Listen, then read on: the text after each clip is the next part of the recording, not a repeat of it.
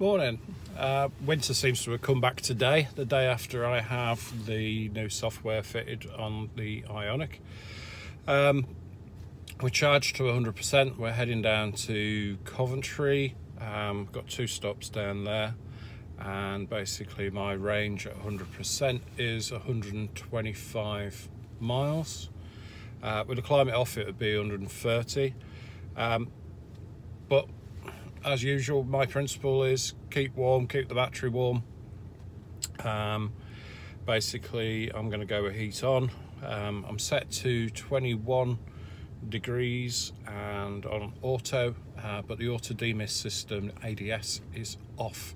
Um, if you want to know how to turn the ADS system off so that you're not burning through your energy um, on um, mornings where it's a little damp and uh, the car thinks you're steaming up all the time, uh, please have a look at my channel. Please subscribe. Uh, you will find a link there to a video um, about ADS and how to turn it off. Okay.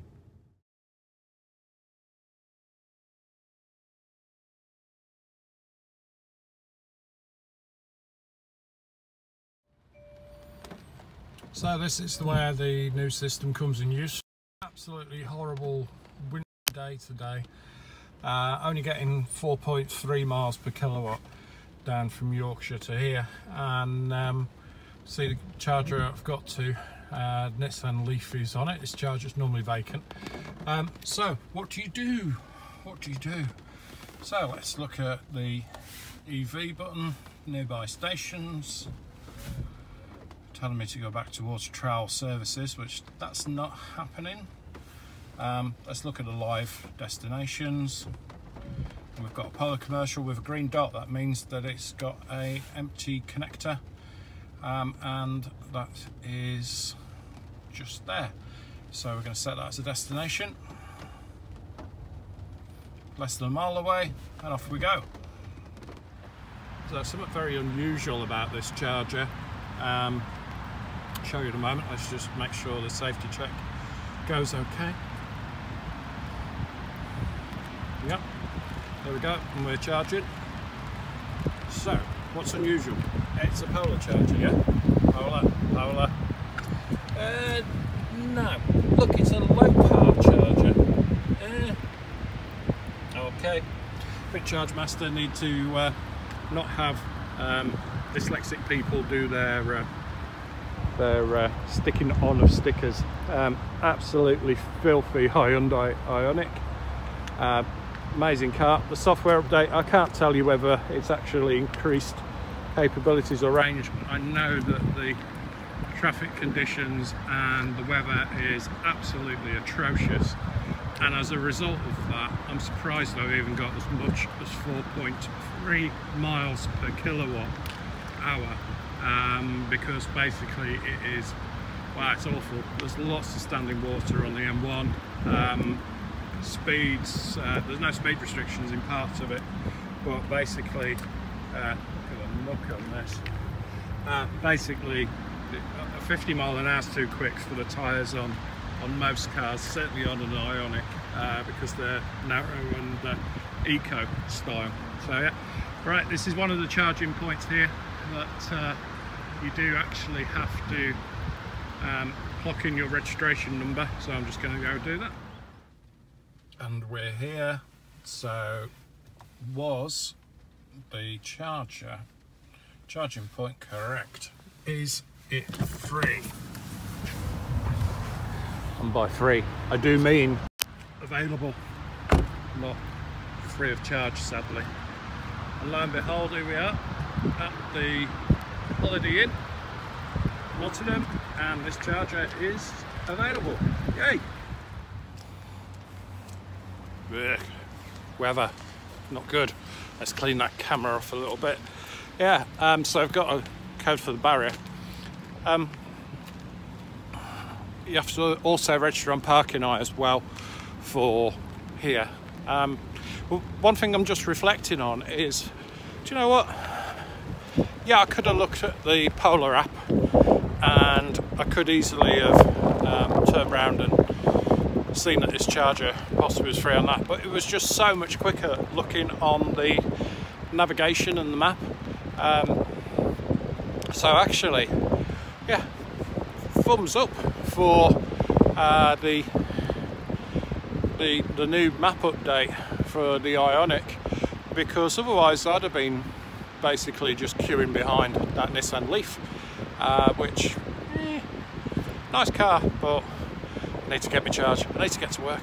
Okay, so another feature of the um, the, the, the update for our good old Ioniq is press nav. Um, as point of interest, let's say I need somewhere to park up. Okay, so let's go near city centre. So we're going to go for the local one, which is uh, Nottingham. So yeah, Nottingham. Uh, and what we're looking for is we're looking for parking. Okay, and we're going to go all. And you'll notice now the live icon has appeared in the top right hand corner, just next to the back button. Okay, so um, okay, we're just getting an update on the traffic data. Here we go. So live. Let's see what we've got uh, on the display when it shows live. Okay, so what you can see here is we've got uh, different car parks and it actually tells you not just the fact that they've got spaces here, um, if it's got data, but it's also showing you, look, the amount it costs per hour. So Sheriff's Lodge, £3.70, um, or 3.70, £2 an hour. So let's have a closer look at that one. Yeah, so uh, it's actually showing £2 an hour. I'm not quite sure what the 3.70 stands for. Uh, let's go for information, see if it tells me any different. Okay, so two hours is £3.70, right, I see, okay, and four hours is £6, so actually, shouldn't that be £1.50? Um, six hours, £10, uh, 8 hours 12 etc payment by cash or by card. That is very very useful because uh, how many times do you get to a parking area and not actually have any cash on you? So superb. Well done. Um, TomTom and uh, Hyundai Ioniq EV for doing this update. Tells you the opening hours as well. That is fantastic I love that. Um, with having different business meetings in different places, um, I find that very, very useful. Um, so let's just run through that again. Um, let's go back to the map. So you want nav, you want your point of interest. Um, let's go for one near the current position and let's go for parking. Let's go for all Okay, and here we've got different car parks. Let's look at live though. And here we go. Again, showing you different car parks and it is showing you the rates. Let's pick one. Let's pick Victoria Street. Okay, it's showing zero pound per hour. Is it really zero pound per hour? Let's go back. Victoria Street again. There we go. So one hour seems as if it's free, two hours is a pound, three hours one pound fifty. Um, and this one isn't telling you whether it's card or cash, doesn't seem to have that data. Uh, parking slot info, looks like it doesn't have any info at the moment because it's not coloured.